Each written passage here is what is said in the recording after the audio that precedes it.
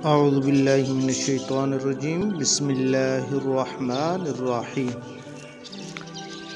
इसमाईल बिन इब्राहीम बिन तारिक आज़र बिन नाहूर बिन सारू बिन रागून बिन फ़ालिख बिन अबीर बिन शालिख बिन अरफ़खशज़ बिन साम बिन नू आसमाम आज हम तस्करा कर रहे हैं हज़रत इस्माईल ज़बील्लाम का।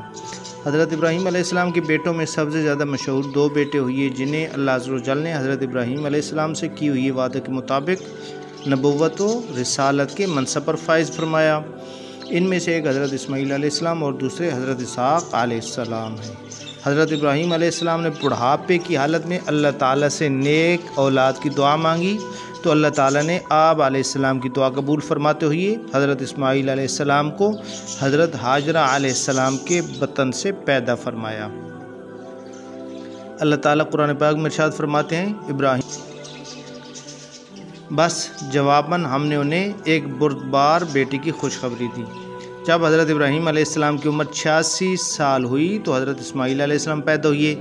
अभी आप अलैहिस्सलाम दूध पीते बच्चे ही थे कि अल्लाह ताला ने हज़रत इब्राहीम अलैहिस्सलाम को आप और आपकी वालदा अलैहिस्सलाम को गैर आबाद जगह, यानी बैतुल्ला के करीब छोड़ने का हुक्म दिया। हज़रत इब्राहीम अलैहिस्सलाम ने अल्लाह ताला के हुक्म की तामील करते हुए आप और आपकी वालदा अलैहिस्सलाम को बैतुल्ला के करीब छोड़ दिया और कुछ खाने पीने की अशिया भी उन्हें दे आए। जब खाने पीने की अशिया ख़त्म हो गई हज़रत हाजर आसमाम को भी प्यास लगी और हज़रत इस्माईल आसमाम भी प्यासे थे। हज़रत हाजरा आसमाम पानी की तलाश में करीबी पहाड़ी सफ़ा पर गईं। वहाँ कोई नज़र ना आया तो मरवा पर आईं। वहाँ पर भी कोई नज़र ना आया। इसी तरह पानी की तलाश में उन्होंने सात चक्कर लगाए। आखिरकार हज़रत इस्माईल की एड़ियों की जगह पर अल्लाह ताला ने पानी का चश्मा जमज़म जारी कर दिया। जब सहरा में पानी निकल आया तो जरहम कबीले के लोग वहाँ आकर आबाद हो गए।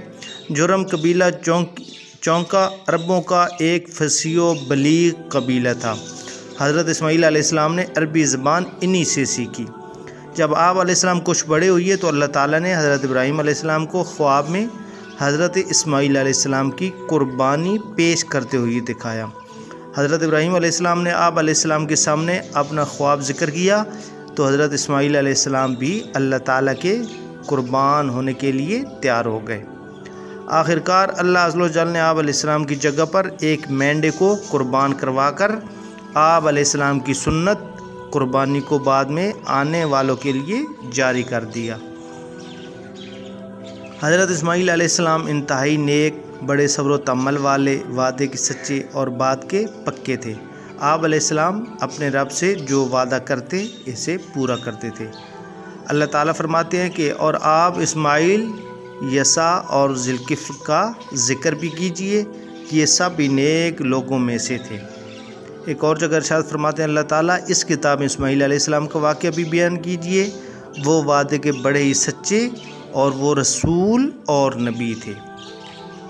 फिर अल्लाह ताला हज़रत इसमाईल के बारे में फरमाते हैं और इसमाइल, इदरीस और ज़िलकिफ़ल को भी याद कीजिए।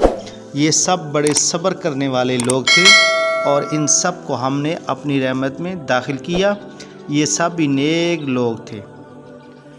हज़रत इब्राहीम जब हज़रत इसमाईल अलैहिस्सलाम और इनकी वालदा मोहतरमा हज़रत मई हाजरा सलामुल्लाह अलैहि को मक्का मुकरमा में गैर आबाद जगह बैतुल्ला के करीब छोड़कर वापस जा रहे थे तो रास्ते में इस सरज़मीन के लिए खूब दुआएँ मांगी, जिनकी बदौलत मुख्तलिफ़ कबाइल आकर इस जगह आबाद हो गए।